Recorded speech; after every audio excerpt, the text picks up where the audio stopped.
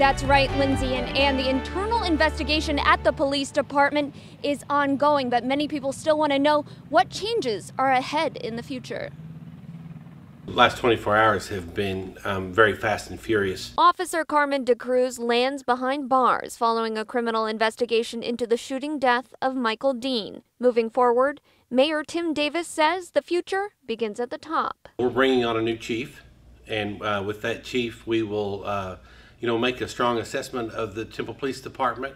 And at that point, we'll make um, any necessary changes. Meanwhile, Interim Chief Tobin says an after action review is in order. We will look at um, how we performed as an agency during the incident, uh, after the incident, and look to see where we need to improve our training, safety, and service to the community. And It is our intent to improve in areas where we can, um, but for right now, we're just going to finish out the administrative investigation. Transparency and a lengthy wait for justice were highly criticized. These investigations are sometimes timely, but it's also important to make sure that we have a thorough and accurate investigation that's based on the facts and evidence. Mayor Davis weighing in on openness of the investigation and what he would like to see for the future. I believe that more could have been done. I've said that more than once. In the future, we'll do a better job with that.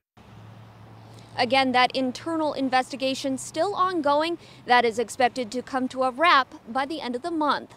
Live in Temple, Maggie Lohmiller, 25 News.